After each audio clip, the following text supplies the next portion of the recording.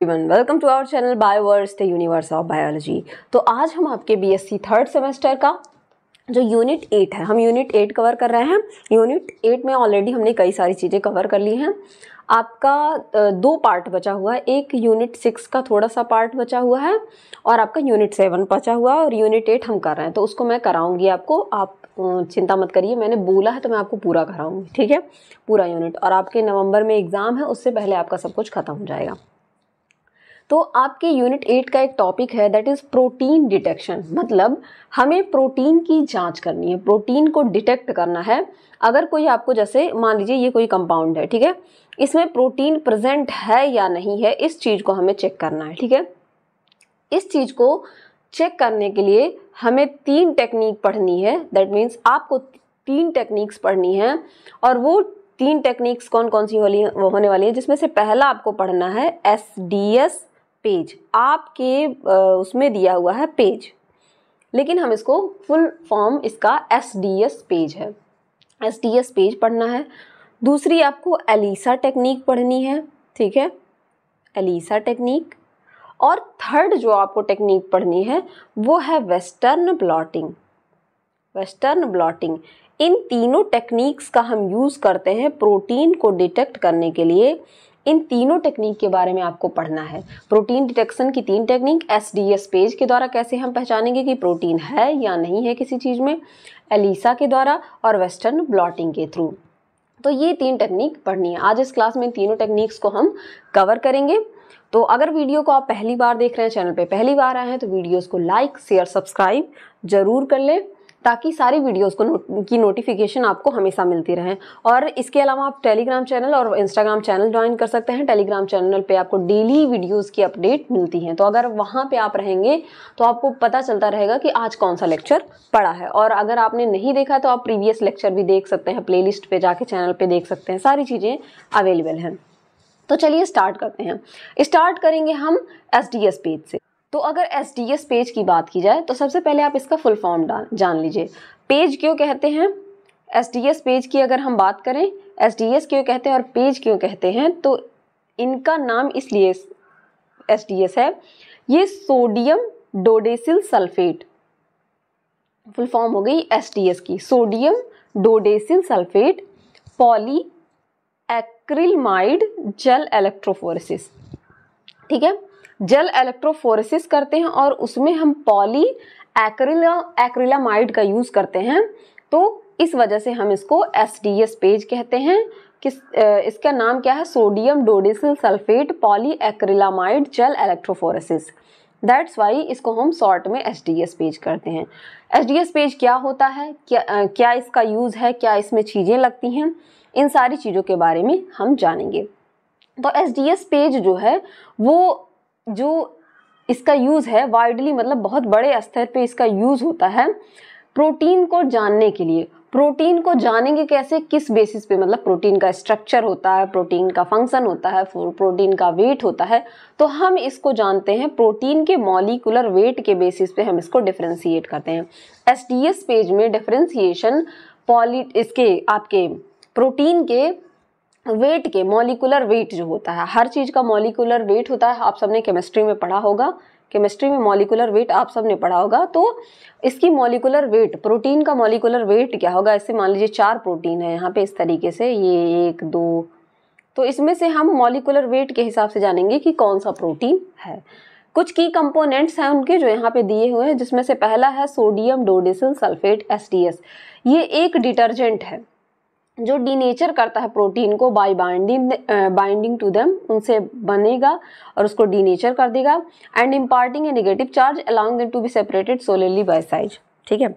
इसका काम क्या है? हमको इसको अलग करना और आप सबको पता है प्रोटीन का जो प्रोटीन होता है जनरली फोल्डिंग में पाया जाता है। मान लीजिए ये आपका प्रोटीन है।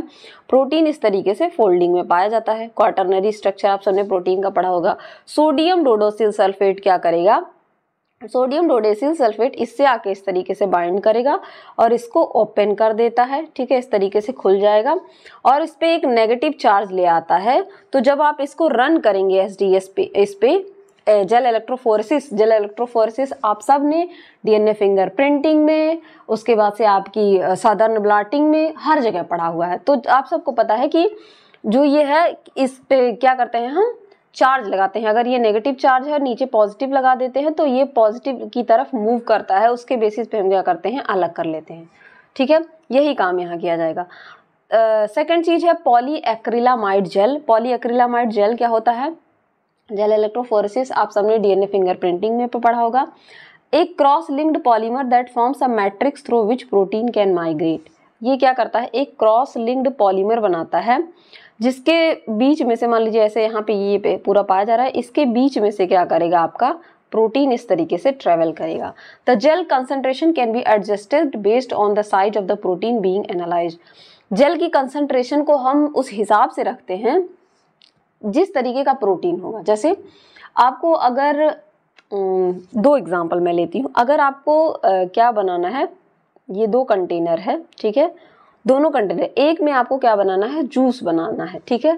तो उसमें आप चीनी कितना डालेंगे? बहुत लिटिल अमाउंट में डालेंगे। लेकिन अगर आपको चाशनी बनानी है सिरप बनाना है तो वहाँ पे चीनी का अमाउंट यानी कि शुगर का अमाउंट बहुत ज़्यादा रहेगा। तो वही यहाँ पे कहा जा रहा है कि प्रोटीन जिस तरीके का रहेगा लाइट वेट हाई वेट उस हिसाब से हम पॉली एक्रिलामाइड जेल जो होता है, उसका कंसंट्रेशन रखते हैं, ठीक? होपफुली आपको समझ में आया होगा। लोडिंग बफर होते हैं। लोडिंग बफर होते हैं क्योंकि यहाँ पे बफर डाला जाता है, फिर इसमें प्रोटीन को इस तरीके से लोड किया जाता है, फिर इस तरीके से आप इसको एनालाइज कर पाते हैं, ठीक है? तो यहाँ पे ये ऊपर बफर है, नीचे ये बफर है, ठीक है? ये बफर है, नीचे बफर में रखा गया है, ठीक है? तो यहाँ पे बफर रखा गया है कंटेन एस टी एस जिसमें एस टी एस पाया जाता है ए ट्रैकिंग डाई कोई ट्रैकिंग डाई मतलब आप प्रोटीन को ऐसे अपनी नेक डाई से तो नहीं देख सकते, उसके लिए कुछ डाई डालना पड़ता है, जैसे आपने डीएनए फिंगर प्रिंटिंग में भी पढ़ा था। तो यहाँ पे हम ब्रोमोफिनॉल ब्लू का यूज़ करते हैं, एक रेड्यूसिंग एजेंट का यूज़ करते हैं, जैसे कि बीटा मार्केप्टो इथेनॉल, ठीक? और जो कि डाई सल्फाइड बॉन्ड को ब्रेक करने का काम करता है टर्सरी स्ट्रक्चर में आप सबने प्रोटीन के देखा होगा कि सल्फाइड बॉन्ड पाया जाता है। तो उसको तोड़ना भी तो पड़ेगा, तभी ना ये डी नेचर होगा इस तरीके से। तो उसको तोड़ने के लिए हम बीटा मार्केप्टो इथेनॉल एक रेड्यूसिंग एजेंट है, उसको डालते हैं। इसको कलर करने के लिए डाई डालते हैं, जिसमें कि हम ब्रोमोफिनॉल का बेसिकली यूज़ करते हैं। तो कुछ इस तरीके से हम इसको परफॉर्म करते हैं। प्रिंसिपल भी मैं आपको बताऊँगी। जस्ट मैं पहले आपको एक डायग्राम दिखा दूँ। यहाँ पे कुछ इस तरीके की चीज़ें होती हैं। सबसे पहले हम क्या करते हैं? सिंगल सब यूनिट फोल्डेड प्रोटीन लेते हैं। जिसमें इंट्रेंजिक चार्जेस कुछ पाए जाएँगी। पॉजिटिव नेगेटिव आपको यहाँ पे दिख रहा होगा। इस तरीके से ये है। तो इसके आसपास में पॉजिटिव नेगेटिव पॉजिटिव इस तरीके से चार्जेस पाए जा रहे हैं। ठीक है? ठीक है? और protein with two subunits B and C joint by disulphide bond और कुछ दो सब यूनिट की प्रोटीन दे रहे हैं, जो कि क्या है? एक दूसरे से डाई सल्फाइड बॉन्ड से इस तरीके से disulphide double sulphide bond से अटैच है। ठीक है? अब हम क्या करेंगे? इनको हीट करेंगे। ठीक है? Heated with S T S sodium dodecyl sulphate के साथ क्या करेंगे? हीट करेंगे, जो क्या करता है, यहाँ पे यहाँ पे दो काम करता है। इनको डीनेचर कर देगा। डीनेचर करने का मतलब ये वाला जो स्ट्रक्चर आपको दिख रहा था, ये अब ऐसे आ गया। ये वाला स्ट्रक्चर सिंपल फॉर्म में आ गया। इनको क्या कर देगा? डी नेचर कर देगा। इनका नेचर फोल्डिंग का था, उनको डी नेचर कर दिया, सीधा कर दिया। और यहाँ पे यूनिफॉर्म चार्ज कर देगा। That is negative negative charge यहाँ पे पॉजिटिव नेगेटिव दोनों चार्ज था पॉजिटिव नेगेटिव दोनों चार्ज था। इनको क्या कर देगा? सिंपल चार्ज में ले आएगा। इस पर पूरा नेगेटिव नेगेटिव नेगेटिव चार्ज इस पे इस पे भी, इस पे भी। सब पे क्या करेगा? नेगेटिव चार्ज ले आएगा। अब इस नेगेटिव चार्ज वाले को आप क्या करेंगे? बफर का सोल्यूशन होता है। बफर सोल्यूशन के साथ जेल इलेक्ट्रोफोरेसिस ये जो होता है इस पर आप लोड करेंगे, ठीक है? इस तरीके से पाइपेट का यूज़ करके आप इस पर लोड कर रहे हैं। इस तरीके से यहाँ पे इस तरीके से बॉक्सेस बनी होती हैं। इन बॉक्सेस में आप लोड कर देंगे। लोडिंग करने के बाद इसको आप इलेक्ट्रोफोरेसिस पे डाल देंगे।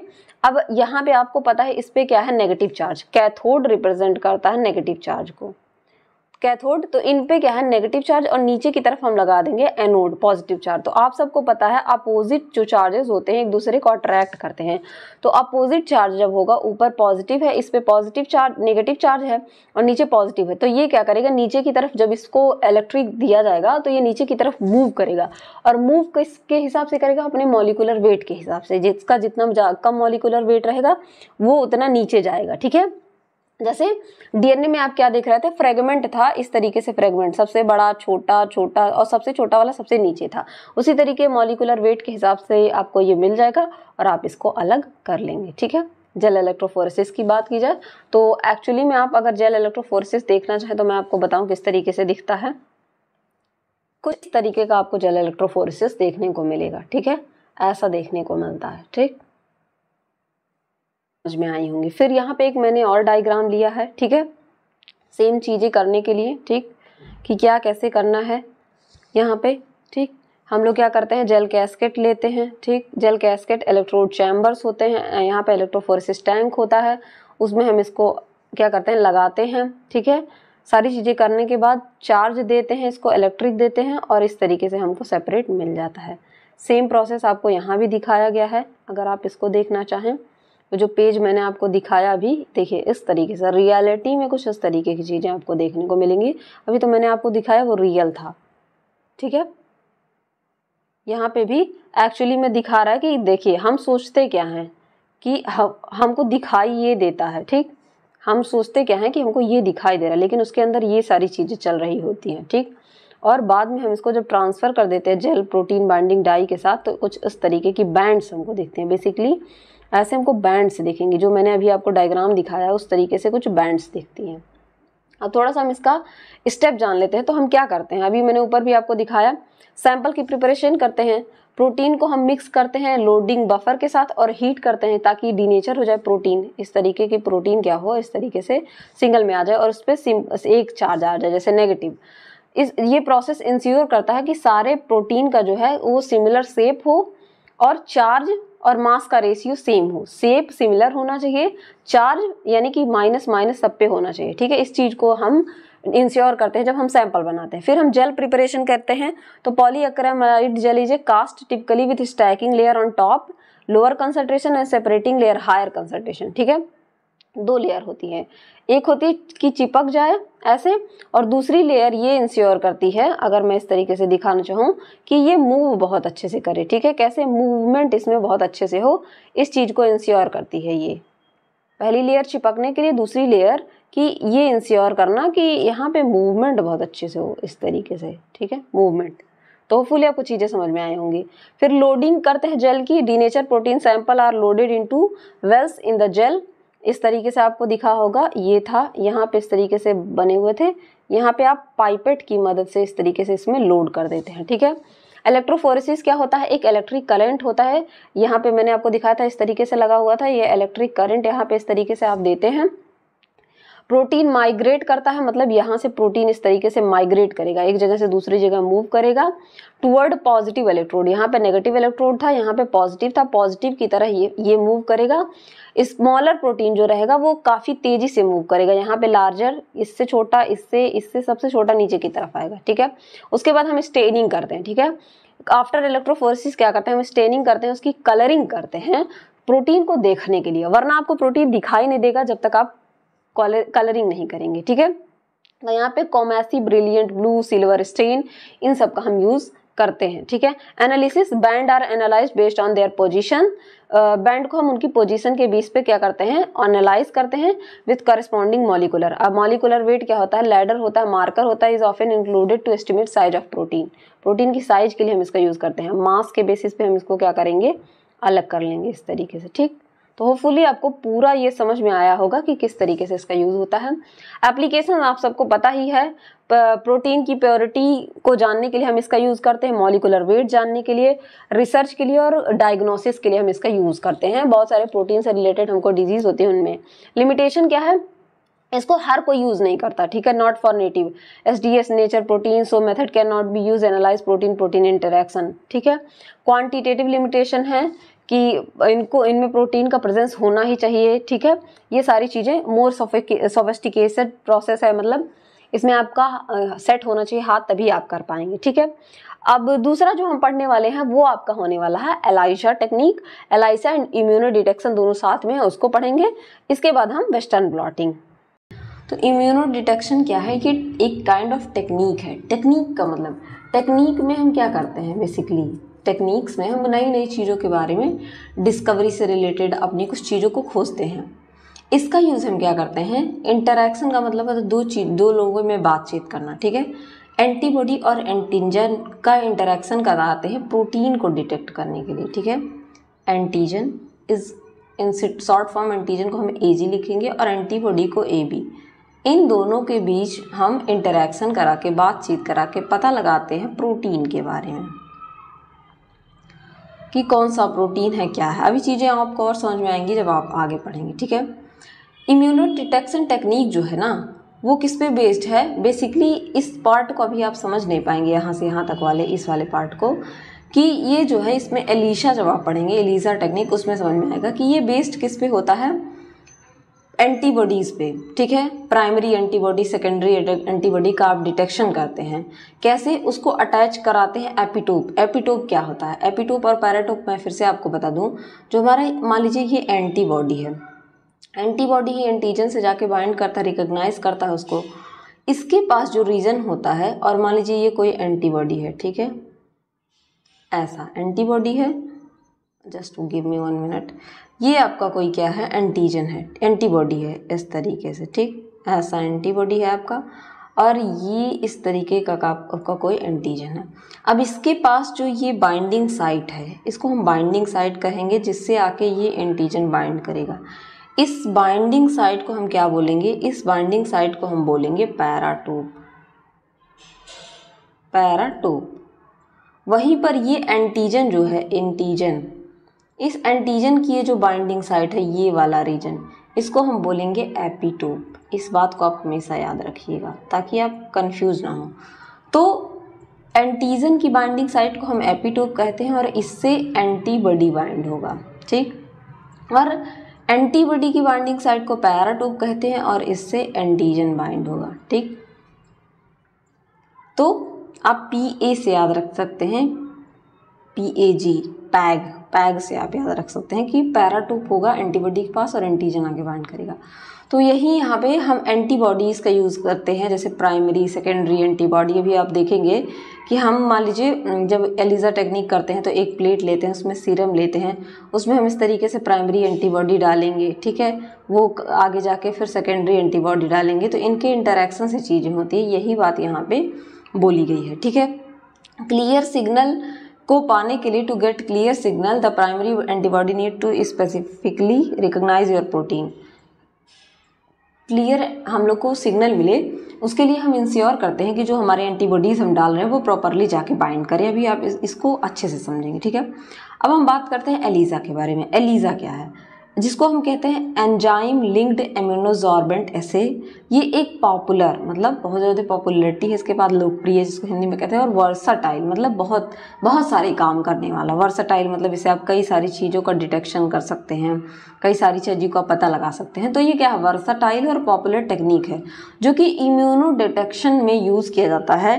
To measure presence of concentration of a specific protein antigen और एंटीबॉडी ने सैंपल मान लीजिए कोई आपका सैंपल है ये आपका सैंपल दिखाया गया है। इस सैंपल में कौन सा एंटीजन है, कौन सा एंटीबॉडी है, कौन सा प्रोटीन है? इसका पता लगाने के लिए ए बी है, कौन सा एंटीजन है, कौन सा प्रोटीन है, इसका पता लगाने के लिए हम क्या करते हैं? एक टेक्निक का यूज़ करते हैं, जिसको हम कहते हैं एलिजा और इसका नाम भी पढ़ेंगे तो इसमें नाम है enzyme linked immunosorbent assay E for enzyme, E for enzyme, L for linked, I for immuno, S for sorbent, A for assay. Immunosorbent assay हम इसको कहते हैं। एब्जॉर्बेंट मत आप बोलिएगा इम्यूनोजॉर्बेंट ठीक है? इम्यूनो जॉर्बेंट ऐसे इसलिए बता देती हूँ क्योंकि आप कई बार गलत लिख देते हैं ठीक है? तो इम्यून एंजाइम लिंक्ड है। मतलब किसी एंजाइम से लिंक करेगा। अभी आप जब इसकी टेक्निक पढ़ेंगे, जब इसका प्रिंसिपल पढ़ेंगे तो वहाँ पे आप देखेंगे। इम्यूनो एंजाइम लिंक एंजाइम से लिंक करेगा। इम्यून इम्यून इम्यूनो बॉडी मतलब इम्यून सिस्टम का चीज़ रिलेटेड है एंटीबॉडी और ऐसे कुछ बनाएगा उससे, ठीक? तो ये किस चीज़ के लिए यूज़ हो रहा है? किसी प्रोटीन को देखने के लिए, किसी एंटीजन को देखने के लिए, किसी एंटीबॉडी को कोई सैंपल है? मान लीजिए कोई सैंपल है। तो इसमें हम क्या कर रहे हैं?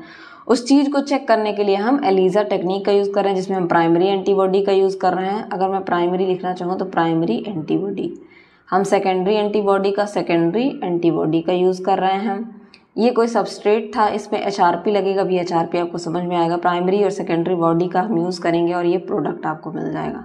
सेम यहाँ पे कोई टारगेट प्रोटीन है या जिसको एंटीजन कहा जा रहा है, उससे प्राइमरी एंटीबॉडी आके अटैच होगा। यहाँ पे जो रीज़न है, उसको हम एपीटोप कहेंगे। और ये जो आके बाइंड होगा, इसको हम पैराटोप कहेंगे। इसी की बात कही जा रही है। फिर एंट प्राइमरी एंटीबॉडी से सेकेंडरी एंटीबॉडी आके बाइंड करे। कुछ मॉलिकुलर मार्कर को लगाएँगे हम। जैसे उसमें फ्लोरोफोर हो सकता है एंजाइम या गोल्ड प्रोटीन हो सकता है। उसके बाद इसको जब ये इस पर लग जाएगा तो हमें पता चल जाएगा कि यही सीरीज़ है और इसको हम डिटेक्ट कर लेंगे, यानी कि पता लगा लेंगे इसके बारे में। तो होपफुली प्रोसेस आपको समझ में आएगा। सेम प्रोसेस यहाँ भी हो रहा है। कोई एनालाइट है जिसके बारे में हमें पता लगाना है, उससे आके प्राइमरी एंटीबॉडी प्राइमरी एंटीबॉडी से सेकेंडरी एंटीबॉडी यहाँ पे हम कुछ प्रोटीन्स का यूज़ करेंगे जो इससे आके अटैच हो जाएँगे। हमें पता हो जाएगा अच्छा यही चीज़ है और ये हमें प्रोडक्ट मिल जाएगा, ठीक? अभी आप इसको डिटेल में पढ़ेंगे। तो एन, एलिसा क्या होता है? एंजाइम लिंक्ड इम्यूनोजॉर्बेंट ऐसे कहते हैं। बेसिकली कुछ इस तरीके का चलने वाला ये प्रोसेस है, ऐसा। रियल प्रोसेस ये है। इसमें हम 96 प्लेटेज का 96 इस तरीके की प्लेट का यूज़ करते हैं। आप सबने ये प्लेट ज़रूर लैब में देखी होगी, ऐसे ऐसे उसमें बने होते हैं। जिसमें हम क्या करते हैं, इस तरीके से पिपेट से सैंपल निकाल कर उसमें डालते हैं, ठीक है? और ये पूरा प्रोसेस करने के बाद हमें इस तरीके से फ्लो फ्लो साइटोमीटर से उसके बारे में हम पता लगा लेते हैं, ठीक है? मैंने ये रियल टेक्निक आपको दिखाई है, ताकि आपको पता चले कि ये जो आप पढ़ रहे हैं ना वैसे सिंपल होने वाला प्रोसेस नहीं है, कितनी सारी चीज़ें उसमें लगती हैं, कुल चौदह स्टेप में होने वाला ये प्रोसेस है। उसके बाद कहीं जाके आपको पता चलता है कि कौन सा एंटीजन है आपकी बॉडी कौन सा एंटीबॉडी है, कौन कौन सी चीज़ है कि आपकी बॉडी में क्या है, इसका पता हम लगा सकते हैं। बेसिकली एंटीजन एंटीबॉडी और प्रोटीन से रिलेटेड ठीक? ELISA technique enzyme linked immunosorbent assay के नाम से जाना जाता है। ठीक है? कॉमन लेबोरेटरी मेथड है जिसका यूज़ करते हैं हम प्रोटीन को एंटीबॉडी को और एंटीजन को डिटेक्ट करने के लिए, पता लगाने के लिए किसी सैंपल में। इसको डिस्क्राइब किया था, इसको बताया था एंगवॉल एंड पार्लियामेंट 1971 में इन दो साइंटिस्ट ने एंगवॉल एंड पार्लमैन ने मिलकर इसकी डिस्कवरी की थी, इसके बारे में बताया था। कभी कभी साइंटिस्ट के नाम भी पूछ लेता है तो आपको पता होना चाहिए। देन अगर बात की जाए एलिसा की एलिसा टेक्निक को करने के लिए हमें क्या क्या चीज़ें लगेंगी? किसी भी काम को करने के लिए, जैसे आप अगर आप किसी चीज़ को पका ही रहे हैं, खाना कुक कर रहे हैं, आप अब केवल राइस फ्राई कर रहे हैं, ठीक है? मतलब चावल को फ्राई कर रहे हैं तो आपको बहुत सारी चीज़ें लगती हैं, जैसे आपको ऑयल लगेगा, आपको कुकड राइस लगेगा, आपको वेजिटेबल्स लगेंगे, आपको सॉल्ट लगेगा, यानी कि नमक लगेगा, बहुत सारी चीज़ें लगती हैं, आपको किसी भी टाइप की सॉस आप यूज़ कर सकते हैं तो इतनी सारी चीज़ें आपको लगती हैं, ठीक है? अगर ये आपको चीज़ें नहीं है आपके पास तो आप वो चीज़ नहीं बना सकते। सेम चीज़, अगर हमें एलिसा टेक्निक परफॉर्म करनी है तो हमें, हमारे पास ये सारी चीज़ें होनी चाहिए, ठीक है? जिसमें से पहला है कोटेड प्लेट या माइक्रो टाइट जो है माइक्रो टाइटर प्लेट ठीक है? इस तरीके की प्लेट होती है कोटेड प्लेट होती है, जिसको कि माइक्रो टाइटर हम प्लेट कहते हैं, कुछ इस तरीके की प्लेट होती है। इसमें हम कॉमनली वंस एक बार में 96 वेल पॉलिश टेराइन प्लेट्स का यूज़ करते हैं। मतलब इस तरीके की एक प्लेट हम यूज़ करेंगे, जिसमें हम इस तरीके के 96 पॉलिश टायरिन प्लेट का इस तरीके से हम यूज़ करेंगे, जिसमें पाई जाएगी, जो भी मैंने आपको प्रीवियसली दिखाया भी इस चीज़ को। जो कि किससे कोटेड होते हैं? जिनके बॉटम जो होते हैं, उनके बॉटम अच्छी तरीके से एंटीजन या एंटीबॉडी से कोटेड होते हैं, ठीक है? सैंपल डायलेंट्स का यूज़ करेंगे। सैंपल मान लीजिए हमने ब्लड का सैंपल लिया। उसको डाइल्यूट करने के लिए, उसको पतला करने के लिए हम कुछ डाइल्यूएंट का यूज़ करेंगे। जैसे वाटर एज अ डाइल्यूएंट बहुत जगह पे यूज़ होता है। उसी तरीके से कुछ डाइल्यूएंट्स का यूज़ करेंगे। फिर वॉश करेंगे बफर्स को।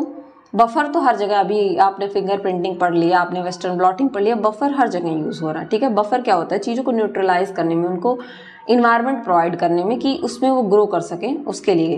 Help to wash away the unrequired contaminants जो भी दूषित चीज़ें अनरिक्वायर्ड कोई चीज़ है, ठीक है? अनबाउंड एंटीजन मान लीजिए एंटीजन और एंटीबॉडी आपने डाला तो हमें क्या चाहिए कि वो बाउंड होना चाहिए। इस तरीके से एक दूसरे से ये दोनों अटैच होने चाहिए। अगर वो बाउंड नहीं है तो उनको हमें उसको भी हटाना है। कोई कंटामिनेशन आ गया, कोई पोल्यूशन आ गया, उसको भी हमें हटाना है। एग्ज़ाम्पल के लिए हम बेसिकली ट्राई फॉस्फेट बफर का यूज़ करते हैं, जिसका पी एच है, और कुछ डिटर्जेंट का यूज़ करते हैं, जिसमें ट्विन ट्वेंटी करके है, इनका यूज़ करते हैं, ठीक है? उसके बाद हम कुछ एंजाइम लिंक्ड एंटीबॉडीज़ का यूज़ करते हैं मोस्ट कॉमनली एपी जिसमें एल्कलाइन फॉस्फेटेज आता है। जो बेसिकली क्या करता है? तोड़ने का काम करता है, ठीक है? या H R P H R P अभी आपने देखा हॉर्स रेडिस पराक्सीडेज कहते हैं इसको, ये भी एंजाइम यूज़ किया जाता है। किस लिए यूज़ किया जाता है? अभी आपने ऊपर देखा डिटेक्ट करने के लिए ये प्राइमरी ये एंटीजन था। इससे ये प्राइमरी एंटीबॉडी अटैच थी और इससे क्या था कि ये आपका सेकेंडरी एंटीबॉडी अटैच था और यहाँ पे आपका एचआरपी लगा हुआ था डिटेक्ट करने के लिए, ठीक? सबस्ट्रेट का यूज़ किया जाता है। स्पेसिफिक क्रोमोजेनिक सबस्ट्रेट का हम लोग यूज़ करते हैं। रिस्पेक्टिव एंजाइम के लिए कॉमनली यूज़ सबस्ट्रेट में ओ फेनाइलिन डायमीन रहता है एच आर पी एंजाइम के लिए, या पी नाइट्रोफिनाइलिन फॉस्फेट आपके एल्कलाइन फॉस्फेटेज के लिए। अगर हम एल्कलाइन फॉस्फेटेज यूज़ कर रहे हैं तो उसके लिए हम सबस्ट्रेट जो यूज़ करेंगे, वो पी नाइट्रोफिनाइल फॉस्फेट का यूज़ करेंगे। और वहीं पे अगर हम सबस्ट्रेट एंजाइम जो है एचआरबी यूज़ कर रहे हैं तो ओ फिनाइल आपका जो है ओ फिनाइल डाई एमीन का यूज़ करेंगे और इसके लिए हम इसका यूज़ करेंगे, ठीक है? तो दोनों में डिफरेंस होता है। फिर हम स्टॉप सोल्यूशन का यूज़ करेंगे क्योंकि हमें उस चीज़ को रोकना भी रहता है। स्टॉप सोल्यूशन में एंजाइमेंट सबस्ट्रेट रिएक्शन को रोकने के लिए हम इसका यूज़ करते हैं basically it can be acid such as sulphuric acid ये एसिड हो सकता है, जिस, जिसमें आपका S two S O four आ सकता है, ठीक है?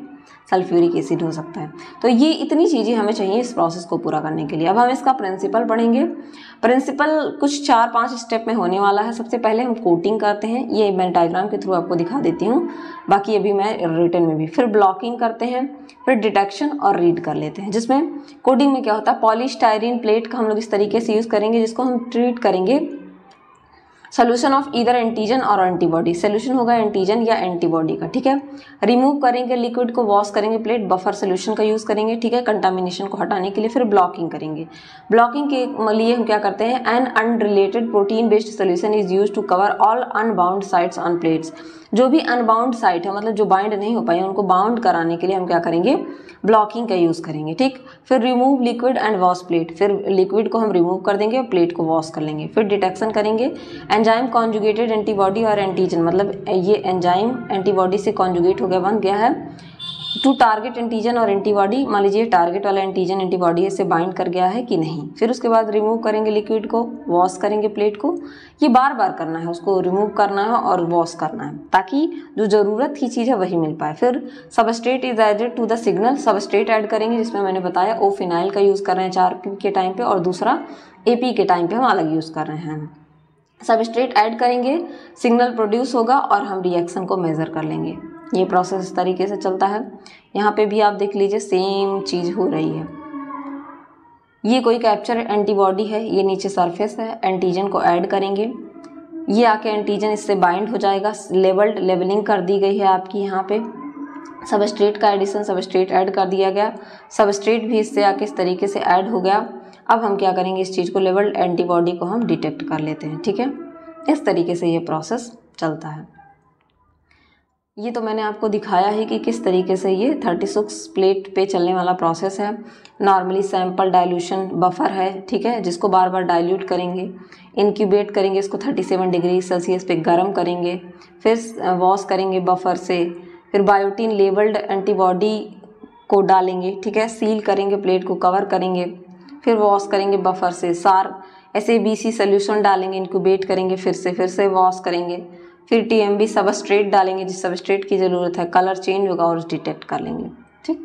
इस तरीके से इतना प्रोसेस चलता है। और ये बहुत प्रिसाइजली होने वाले प्रोसेस हैं। ऐसे आप नॉर्मली नहीं कर सकते हैं। इसके लिए बहुत ज़्यादा प्रिसाइज बहुत ज़्यादा कंटामिनेशन बहुत ज़्यादा चीज़ हो सकती हैं। उनसे बचने के लिए बहुत अच्छे तरीके से किया जाता है। ठीक? प्रिंसिपल की बात करें तो एंटीजन एंटीबॉडी जो है रिएक्ट करके क्या बनाते हैं? एंटीजन एंटीबॉडी कॉम्प्लेक्स बनाते हैं। एंटीजन और ये रहा आपका एंटीबॉडी ये कॉम्प्लेक्स बनता है। ठीक? एंटीबॉडीज़ कैन बी लिंक्ड और अटैच टू एन एंजाइम किसी से एंजाइम से लिंक हो सकते हैं या अटैच हो सकते हैं, ठीक? एंजाइम लिंक्ड एंटीबॉडी जो है can modified the specific substrate use to produce colour change with in the preparation हम इसको स्पेसिफाई कैसे करते हैं? अभी आपने देखा ऊपर, उस प्रोसेस में कलर चेंज हो रहा था, ठीक है? एंजाइम एक्टिविटी को मेजर कर लिया जाता है किससे कॉलरी मीटर से। Colorimeter specific wavelength of light को डिटेक्ट करता है। तो ये कॉलरी मीटर मान लीजिए आपका है ये साइटोमीटर कॉलरीमीटर ये एक स्पेसिफिक वेवलेंथ की लाइट को डिटेक्ट कर पाता है जो कि इसमें प्रोवाइडेड होता है और उससे हम डिटेक्ट कर लेंगे इसको। करते हैं, ठीक? अब एक एक स्टेप देख लेते हैं। सबसे पहला स्टेप होता है एंटीजन एंटीबॉडी का बाइंडिंग तो the crude core principle ELISA का क्या है? स्पेसिफिक बाइंडिंग होती है एंटीजन और एंटीबॉडी के बीच में, ठीक है? इन एलिसा ऐसे जो है इधर एन एंटीजन जो टारगेट मॉलिक्यूल है वो, या antibody immobilise on solid surface इस वाले प्लेट पे। इसको क्या किया जाता है? चाहे एंटीबॉडी को, चाहे एंटीजन को हम क्या करते हैं? इमोबलाइज करते हैं मतलब मूव कराते हैं, ठीक? फिर एंजाइम कॉन्जुगेशन होता, कई सारे एंजाइम का मैंने बताया ही यूज़ किया जाता है। A P enzyme H R P enzyme ठीक to detect antigen antibody enzyme and enzyme is conjugated with a secondary antibody पहले एक प्राइमरी एंटीबॉडी डाल देंगे, फिर उसके बाद फिर सेकेंडरी एंटीबॉडी को हम इंट्रोड्यूस करेंगे। किसको? सेकेंडरी एंटीबॉडी को भी इंट्रोड्यूस करेंगे इसमें, ठीक? The enzyme act on reporter producing a measurable signal when react with substrate. जब ये सबस्ट्रेट को रिएक्ट कर, से रिएक्ट कर जाएगा, जो है तो वो एक सिग्नल प्रोड्यूस करेगा, ठीक है, जिससे आप मीज़र कर सकते हैं। सबस्ट्रेट का रिएक्शन कराएँगे उसके बाद हम सबस्ट्रेट डालते हैं, जैसा कि मैंने आपको दिखाया प्रोसेस में।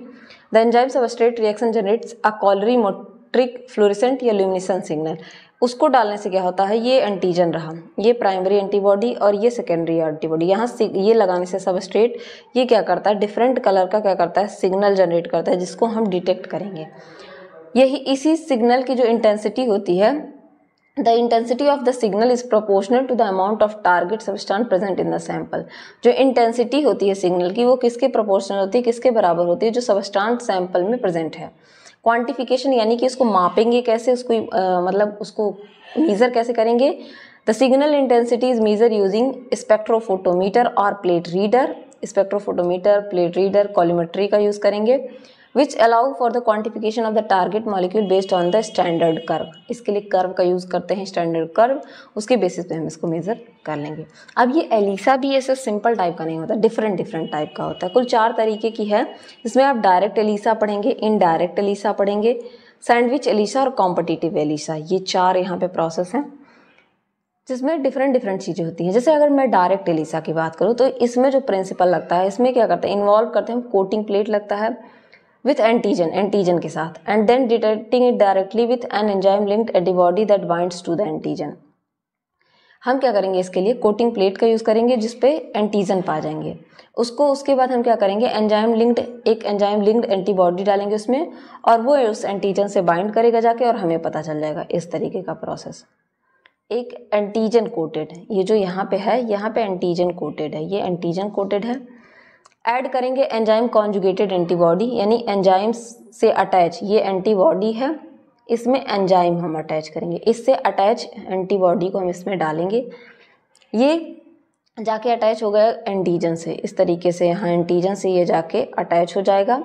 और सब फिर हम सबस्ट्रेट ऐड करेंगे यहाँ पे, इस तरीके से सबस्ट्रेट ऐड करेंगे और इसको डिटेक्ट कर लेंगे। बहुत सिंपल सा प्रोसेस है और इस तरीके के प्रिंसिपल का यूज़ कहाँ करते हैं? स्पेसिफिक एंटीजन सैंपल के लिए। Suitable for detecting a specific antigen sample किसी स्पेसिफिक एंटीजन के सैंपल को जानने के लिए कि कौन सा एंटीजन है, इसके लिए हम इसको यूज़ करते हैं। इनडायरेक्ट एलिसा क्या है? इनडायरेक्ट एलिसा में कोट ये इसमें भी एंटीजन क्लोटेड प्लेट का ही हम यूज़ करेंगे। लेकिन यहाँ पे हम दो तरीके की एंटीबॉडी यूज़ करेंगे।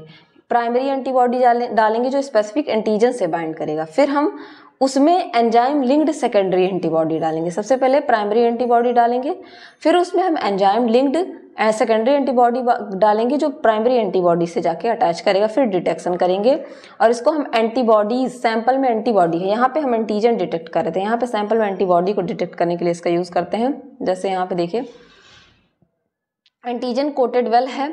उसमें हम एंटीबॉडी ऐड कर देंगे, अभी इसमें एंजाइम लिंक्ड नहीं है। सेकंड प्रोसेस में वॉश करेंगे इसमें यहाँ भी वॉश करेंगे, ये सारी चीज़ें आप छोटी छोटी आपको ध्यान रखनी है।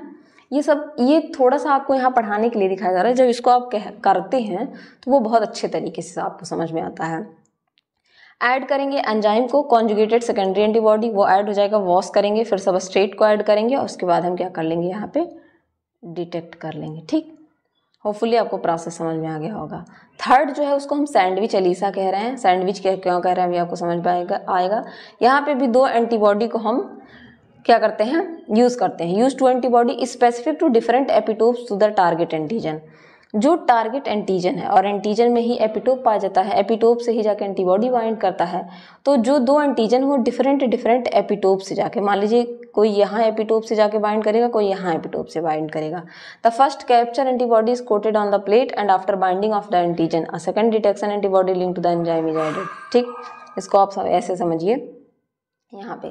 सबसे पहले हम क्या कह रहे हैं? एंटीबॉडी कोटेड प्लेट ले रहे हैं। अभी तक हम एंटीजन कोटेड प्लेट ले रहे थे। केवल वर्ड्स को समझिएगा। अभी ऊपर के दो में हमने डायरेक्ट वाले में एंटीजन कोटेड लिया और इनडायरेक्ट वाले में भी एंटीजन कोटेड लिया। डायरेक्ट वाले में क्या था कि वहाँ पे हमने एंटीजन कोटेड तो लिया, लेकिन सिर्फ़ एक एंटीबॉडी एंजाइम कॉन्जुगेटेड एंटीबॉडी का यूज़ किया और सबस्ट्रेट यूज़ करके डिटेक्ट कर लिया। इनडायरेक्ट में भी हमने एंटीजन कोटेड का ही यूज़ किया, लेकिन यहाँ पे हमने एक नॉर्मल एंटीबॉडी डाला, फिर एंजाइम लिंक्ड एंटीबॉडी डाला, फिर सबस्ट्रेट डाला और डिटेक्ट कर लिया। थर्ड में क्या है? जो प्लेट हम ले रहे हैं, वो किससे कोटेड है? एंटीबॉडी से। अब हम उसमें एंटीजन ऐड कर रहे हैं। फिर हमने एंटीजन ऐड किया, फिर से धुला। फिर उसमें हम enzyme linked enzyme conjugated secondary antibody का यूज़ कर रहे हैं। प्राइमरी एंटीबॉडी उससे अटैच एंटीजन और ये रहा आपका सेकेंडरी एंटीबॉडी और ये स्ट्रक्चर आपको सैंडविच की तरह नहीं लग रहा है। ये आपका फ़र्स्ट स्लाइस ऑफ़ ब्रेड ये आपका second slice of bread sandwich क्यों कहते हैं? सैंडविच मॉडल आपने प्लाज्मा मेम्ब्रेन का पढ़ा होगा।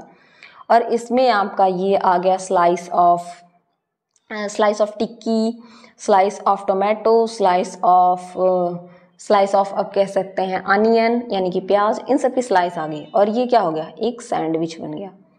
इसी वजह से हम इसको सैंडविच मॉडल कह रहे हैं, क्योंकि यहाँ पे क्या हो रहा है कि हम सबसे पहले एंटीबॉडी प्लेट ले रहे हैं एंटीबॉडी कोटेड वहाँ पे एंटीजन ऐड कर रहे हैं, फिर सेकेंडरी एंटीबॉडी लगा रहे हैं, जो कि एंजाइम लिंक्ड है। और उसके बाद हम सब स्ट्रेट डाल के इसको डिटेक्ट कर ले रहे हैं। ठीक? थर्ड आपको समझ में आ गया फोर्थ क्या है? फोर्थ आपका है कॉम्पटिटिव एलिसा कॉम्पटिटिव एलिस क्या होता है? इसमें क्या होता है? Involves competition between the sample antigen and known amount of level antigen for binding to a limited amount of antibody यहाँ पे क्या करते हैं? कंपटीशन होता है सैंपल ऑफ़ एंटीजन में। उसमें known amount of label antigen हम डालेंगे, जो कि जाके कुछ लिमिटेड एंटीबॉडी से बाइंड करेगा। तो कंपटीशन चलेगा। चीज़ें कुछ ही हैं और जैसे एक सीट है और उसके लिए अप्लाई दस लोग कर रहे हैं। नौकरी तो एक ही को मिलेगी ना? तो इसी को तो आप कॉम्पिटिशन कहते हैं। वही काम यहाँ पे अलीशा टेक्निक में हो रहा। इसका यूज़ हम क्या करते हैं? सॉरी थर्ड जो सैंडविच वाले का मॉडल है, उसका यूज़ हम करते हैं detecting and quantifying antigen with high specificity कोई हाईली स्पेसिफिक एंटीजन है, उसको डिटेक्ट करने के लिए हम इसका यूज़ करते हैं। बहुत सेंसिटिव है, उसके लिए हम इसका यूज़ करते हैं। फिर हम आ जाते हैं एलिशा पे। तो एलिशा का मैंने कंपटीशन वाला एग्जांपल दिया। Then the more antigen in the sample the less label antigen will be bind जितना ज़्यादा एंटीजन होगा, उतना ही लेस एंटीजन लेवल्ड बाइंड होगा resulting in lower signal lower signal का यूज़ करेगा। और इसको हम स्मॉल मॉलिक्यूल्स का, जो कि ईजिली मोबलाइज नहीं नॉट बी इजली इमोबलाइज जो अच्छे से इमोबाइल नहीं हो सकते हैं, उनका यूज़ करते हैं। प्रोसेस क्या है? थोड़ा सा डायग्राम से ज़्यादा अच्छे से समझ में आता है। हमने इंक्यूबेटेड एंटीबॉडी यानी कि गर्म एंटीबॉडी को इंक्यूबेट किया विथ एंटीजन के साथ टू बी मेजर्ड उसको मेज़र करेंगे। ऐड करेंगे एंटीजन वाला प्लेट यहाँ पे लेंगे एंटीबॉडी डालेंगे मिक्सचर और फिर ये कोटेड वाला जो हमने लिया है, इसको भी डालेंगे, ठीक? अब ऐड करेंगे हम एंजाइम कॉन्जुगेटेड सेकेंडरी एंटीबॉडी को, उससे जाके बाइंड करेगा सबस्ट्रेट को। अब यहाँ पे देखिए कई सारे हैं, और सारे सबस्ट्रेट आके केवल एक से बाइंड हो रहा है। तो इस एक का स्पेसिफिकली हम पता लगा लेंगे। कंपटीशन कराएँगे हम और जिससे जाके बाइंड होगा, हमें पता चल जाएगा कि इसी का हमें यूज़ है, ठीक? होपफुली आपको पूरा एलिसा समझ में आ गया होता टेक्निक अब इसका एप्लीकेशन क्या है? क्या ज़रूरत है इतना सारा प्रोसेस करने की? क्या ही हमको इससे फ़ायदा है? तो जहाँ पे भी इंसान को फ़ायदा नहीं रहेगा, वो उस काम को करता ही नहीं है। और एलिसा से हमें क्या फ़ायदा है? आइए इसको जानते हैं। ये बहुत ज़्यादा सेंसिटिव और इफ़ेक्टिव मेथड है किसके डिटेक्शन के लिए? वायरल बैक्टीरियल और फंगल इन्फेक्शन के लिए। कोई आपको वायरल इन्फेक्शन हुआ है? वायरस रिलेटेड कोई आपको बैक्टीरियल इन्फेक्शन हुआ है? या कोई आपको फंगस से रिलेटेड इन्फेक्शन हुआ उसका पता हम इस टेक्निक से बहुत इफ़ेक्टिवली लगा सकते हैं। जो एचआईवी की स्क्रीनिंग टेस्ट होती है, वो भी एलिसा के थ्रू ही होती है। Different ELISA kits test kits available हैं, जिनको यूज़ करते हैं हम डेंगू फीवर का पता लगाने के लिए। ट्यूबरकुलोसिस, यानी कि टीबी का पता लगाने के लिए हेपेटाइटिस बी इन सब का पता लगाने के लिए हम एलिसा ये ई आई एस ए नहीं E L I S A रहेगा, ठीक? प्रेगनेंसी किट्स जो आपकी होती हैं, वो इसी टेक्निक पे बेस्ड होती हैं। वो आप, इसमें क्या करते हैं प्रेगनेंसी किट्स कुछ इस तरीके की होती हैं। इसमें हम यूरिन जो होता है मदर का, जो प्रेग्नेंट मदर होती है, उनका यूरिन हम डालते हैं। उस टाइम पे क्या होता है कि जब जो मदर प्रेग्नेंट होती है, उनकी यूरिन में कुछ, उनके प्रोटीन्स में कुछ चेंजेस आ जाते हैं। उस चेंजेस की वजह से आप देखते होंगे आपने देखा होगा एड वगैरह में कि वो स्ट्रिप क्या हो जाती है, वो रेड दिखाई देने लगती है। Due to change in protein इस तरीके से रेड स्ट्रिप दिखाई देती है, जिससे लोग एक मोटे तौर पे आपको पता चल जाता है कि आप प्रेगनेंसी आपकी है या नहीं है, ठीक है? उसको डिटेक्ट करने के लिए। इसी टेक्निक का यूज़ करते हैं। Qualitative and quantitative estimation of various protein कुछ प्रोटीन के बारे में हार्मोन और टॉक्सिन का पता लगाने के लिए हम इसका यूज़ करते हैं। Also use in detection of different food allergens आपको फ़ूड एलर्जी होती है ना? उसका भी पता बहुत सारे लोगों को, कई सारी फ़ूड से एलर्जी होती है। फ़ूड एलर्जेंस जो होते हैं, कौन सी, कौन सा एलर्जन है, उसका भी पता इसी टेक्निक से लगाते हैं। तो आप समझ सकते हैं कि how much important ELISA is that's why this process is very necessary और आपको ये पढ़ाया जा रहा है, ठीक है? होपफुली आपको समझ में आ गया होगा कि किस टेक्निक से बेस्ड है। और बार बार मैंने ऊपर आपको बताया था कि किस चीज़ का पता लगाने के लिए, किसी प्रोटीन का, किसी एंटीबॉडी का, किसी एंटीजन का पता लगाने के लिए हम इसका क्या करते हैं? यूज़ करते हैं। तो होपफुली ये प्रोसेस आपको अच्छे से समझ में आया होगा।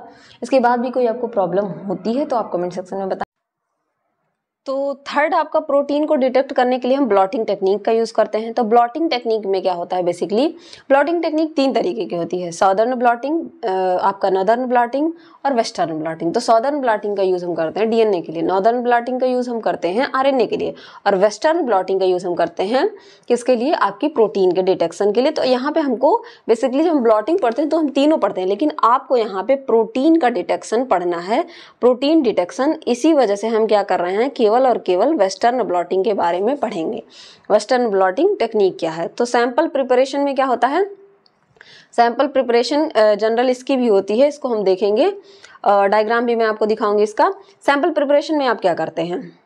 वेस्टर्न ब्लॉटिंग में सैंपल प्रिपरेशन करते हैं तो उसके पहले एक वाइडली यूज्ड एनालिटिकल टेक्निक है मॉलिकुलर बायोलॉजी में बायोकेमिस्ट्री में, जिसमें हम स्पेसिफिक प्रोटीन के सैंपल को डिटेक्ट करते हैं।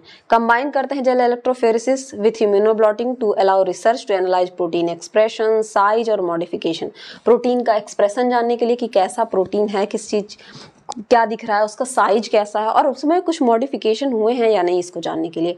तो कुछ इस तरीके का काम हम करते हैं। इसमें तो प्रोटीन में हम क्या कर लेते हैं? सैंपल। सैंपल में क्या चीज़ें होती हैं? सैंपल में आपका बायोलॉजिकल फ्लूड हो सकता है, यानी कि ब्लड हो सकता है आपका, ठीक है?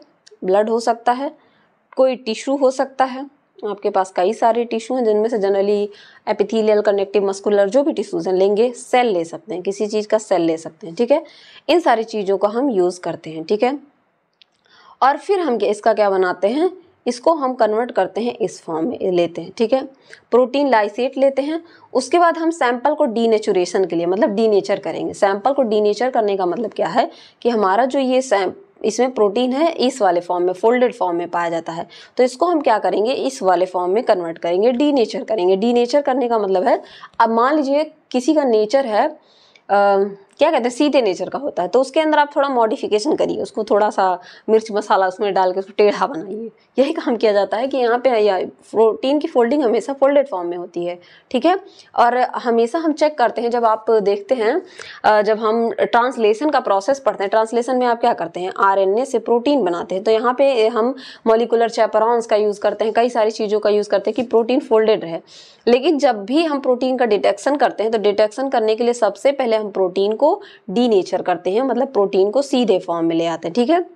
लीनियर फॉर्म में ले आते हैं। अब उसको हम रन कराते हैं पॉली एक्रिलामाइड जेल पे। तो एसडीएस पेज में आपने देखा पॉली एक्रिलामाइड जेल क्या होता है? कुछ इस तरीके का दिखने वाला स्ट्रक्चर होता है। और इस पर इस तरीके के स्ट्रक्चर में ये लोडिंग हम करते हैं, यहाँ पे लोडिंग करते हैं, ठीक है?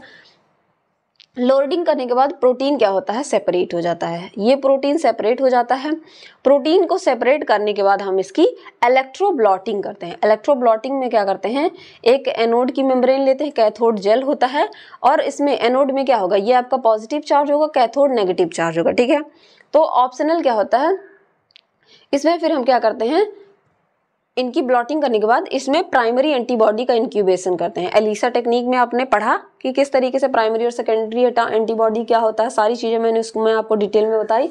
तो हम क्या करते हैं, इसमें प्राइमरी एंटीबॉडी का इंक्यूबेशन करते हैं, ठीक है?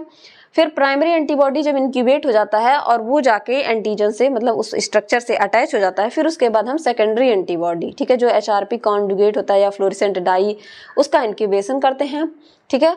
H R B fluorescent moiety फिर लगी रहती है, बाद में ये अलग हो जाती है और हमें एडिशनल एंजाइम सबस्ट्रेट और एक्साइटेंस ऑफ़ फ्लोरसेंट मोइटी जो रहती है और उसके बाद हम टारगेट वाला जो प्रोटीन हमको चाहिए होता है, वो हम पा जाते हैं इसके थ्रू ठीक है?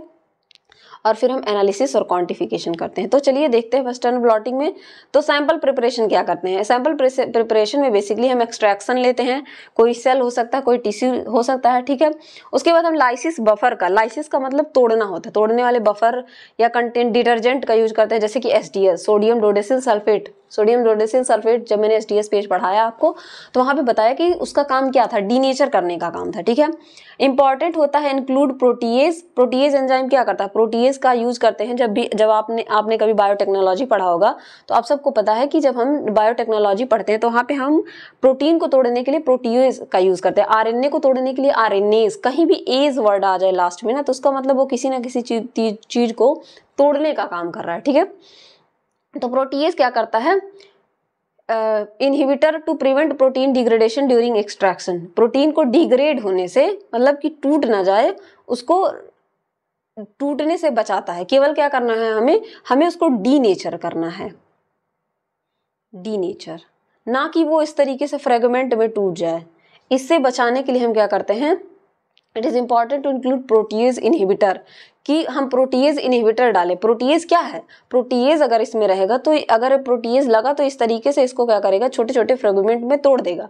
तो हम ये भी इंश्योर करते हैं कि हमने एस डी एस डाला सोडियम डोडेसिल सल्फेट डाला। तो एस के बाद फिर हम उसमें प्रोटीज भी ऐड करते हैं। प्रोटीज इनहिबिटर जो इसको इनहिबिटर का काम क्या होता है? इनहिबिटर का काम होता है जो आके इसको रोक दे। इसको रोक दे प्रोटीज को रोक दे कि नहीं, तुम्हारा यहाँ काम नहीं है, तुमको नहीं तोड़ना है, तुम इसको फ्रेगमेंट में मत तोड़ो। बस एस डी एस आएगा और वो इस वाले चीज़ को, जो फोल्डेड चीज़ है एस डी एस आएगा, उसको इसमें कन्वर्ट कर देगा और तुम प्रोटीज ऐसे का ऐसे रहेगा, ठीक है? Protein quantification measure the concentration of extracted protein using method like the Bradford S A B S S A to equal loading. हम मेज़रमेंट करते हैं कि कंसंट्रेशन जो प्रोटीन हमने लिया है एसडीएस में भी हमने देखा था कि हम मेजर कर रहे थे कि कंसंट्रेशन क्या हो सेम होनी चाहिए, ठीक है?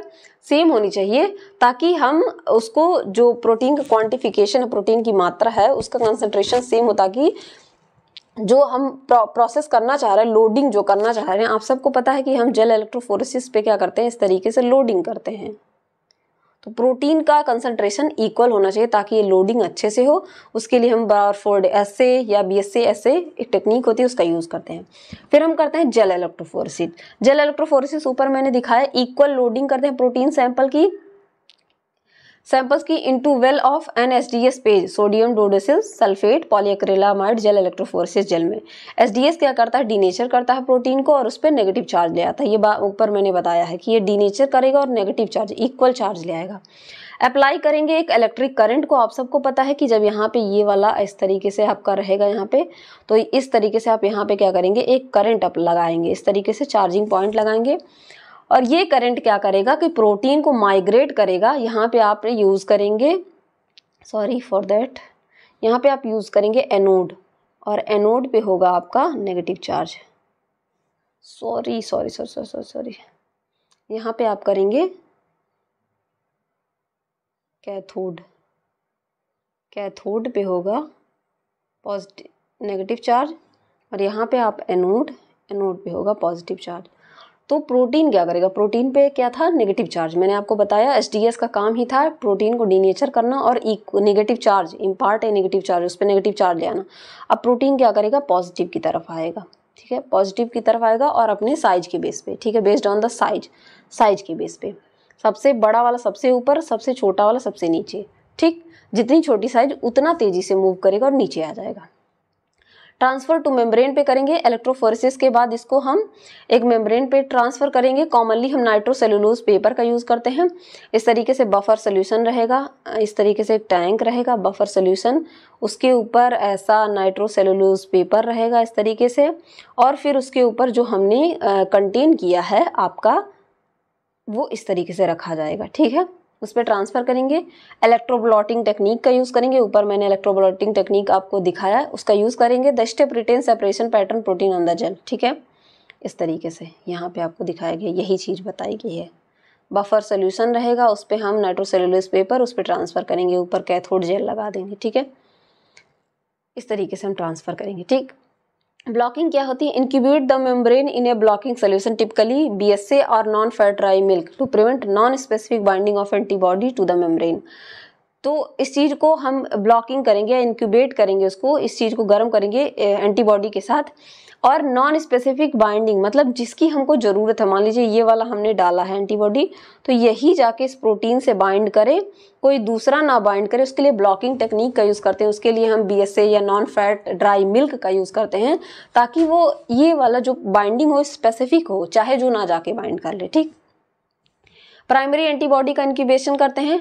Incubate the membrane with primary antibody सबसे पहले हम क्या करेंगे? यहाँ पे प्राइमरी ये रहा आपका, इसमें प्राइमरी एंटीबॉडी डालेंगे, ठीक है? क्या डालेंगे? प्राइमरी एंटीबॉडी डालेंगे।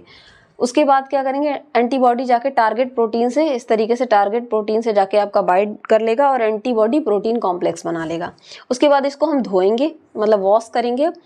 बफर वॉश करेंगे बफर सोल्यूशन से। हमेशा बफर सोल्यूशन का प्रिपरेशन आपको पढ़ाया जाएगा, आप चिंता मत करिए, आपके चैप्टर में है।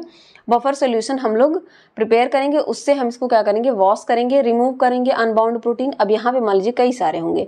तो जिनसे आके एंटीबॉडी बाइंड कर गया वो तो रहेंगे, लेकिन जो मान लीजिए अगर यहाँ पे कुछ बचे हुए जिनसे एंटीबॉडी नहीं बाइंड करी, उसको हटा देंगे, ठीक है? फिर हम क्या करते हैं? सेकेंडरी एंटीबॉडी इनक्यूबेशन करते हैं। मेम्ब्रेन को हम सेकेंडरी एंटीबॉडी के साथ इंक्यूबेट करेंगे, ठीक है?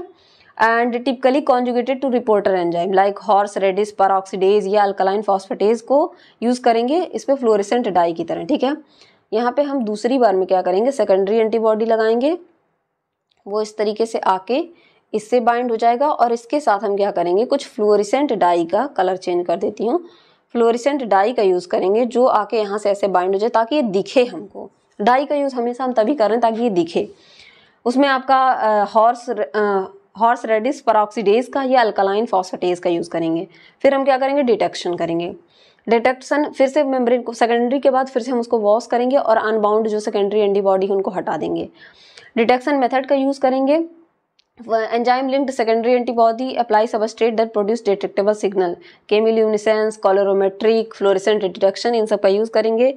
For fluorescently level secondary antibodies visualise using appropriate imaging system इसके लिए हम अप्रोप्रिएट इमेजिंग सिस्टम का यूज़ करेंगे। जैसे हमें अपनी बॉडी के अंदर के पार्ट को देखना होता तो हम क्या करवाते हैं? सीटी स्कैन करवाते हैं और एमआरआई करवाते हैं, आपका एक्सरे करवाते हैं, ठीक है? तो उसी तरीके से प्रोटीन को भी डिटेक्ट करने के लिए एक हम इमेजिंग टेक्निक का यूज़ करेंगे। ऐसे ही वो नहीं दिखेगा, ठीक? एनालिसिस करेंगे analyse the result by comparing detected band to protein ladder क्या करेंगे यहाँ पे? इस तरी सॉरी फॉर दैट इस तरीके से आपका क्या होता है? ये रखा रहता है यहाँ पे प्रोटीन लैडर रहता है। मान लीजिए ये वाला है, इसको यहाँ पे ऐसा रखा है। अब आपने जो यहाँ पे लगाया है, उसको भी क्या करेंगे? साइज़ उसकी मिलाएँगे कि कौन सा मैच कर रहा है। और उनकी डेंसिटी के हिसाब से आप क्या करेंगे? सॉफ्टवेयर किसी ना किसी सॉफ्टवेयर पे आप क्या करेंगे इसको देखेंगे। एप्लीकेशन आप सबको पता है प्रोटीन एक्सप्रेशन प्रोटीन की एक्सप्रेशन को देखने के लिए ठीक है? पोस्ट ट्रांसलेशनल मॉडिफिकेशन ये वाला प्रोसेस आपने आ, मैंने पढ़ाया था आपको जब आ, थर्ड चैप्टर आपका था आई थिंक थर्ड नहीं नहीं फोर्थ चैप्टर में पोस्ट ट्रांसलेशनल मॉडिफिकेशन है यूनिट फोर आपका। वहाँ पे मैंने फॉस्फोराइलेशन ग्लाइकोसाइलेशन इब्यूकिटेनेशन इन सबको भी चेक करने के लिए हम क्या करते हैं? इस टेक्निक का यूज़ करते हैं डिज़ीज़ को जानने के लिए। बायोमार्कर्स फॉर कैंसर कैंसर के लिए कैंसर में क्या होते हैं? प्रोटीन्स होते हैं, कुछ एंटीजेंस आते हैं, उनको डिटेक्ट करने के लिए रिसर्च के लिए इन सब का यूज़ हम करते हैं। तो होपफुली आपको वेस्टर्न ब्लॉटिंग पूरी अच्छी तरीके से समझ में आ गया होगा। तो आपने तीनों टेक्निक देखा। आपने पहला टेक्निक देखा एस डी एस पेज ठीक है? तो एसडीएस पेज में आपने जाना क्या चीज़ें होती हैं? Sodium dodecyl sulphate polyacrylamide gel electrophoresis S D S PAGE का फुल फॉर्म हो गया। दूसरा आपने इम्यूनो डिटेक्शन या एलिसा टेक्निक पढ़ा और थर्ड आपने पढ़ा वेस्टर्न ब्लॉटिंग और तीनों टेक्निक का यूज़ हम कर रहे थे किसके लिए? तीनों टेक्निक का यूज़ हम कर रहे थे प्रोटीन के डिटेक्शन के लिए। तो होपफुली आपको प्रोटीन का डिटेक्शन समझ में आया होगा। इसके बाद भी अगर आपको कोई चीज़ दिक्कत करती है कुछ समझ में नहीं आता है तो आप पूछ सकते हैं। तब तक के लिए पढ़ते रहिए, बढ़ते रहिए। Thank you every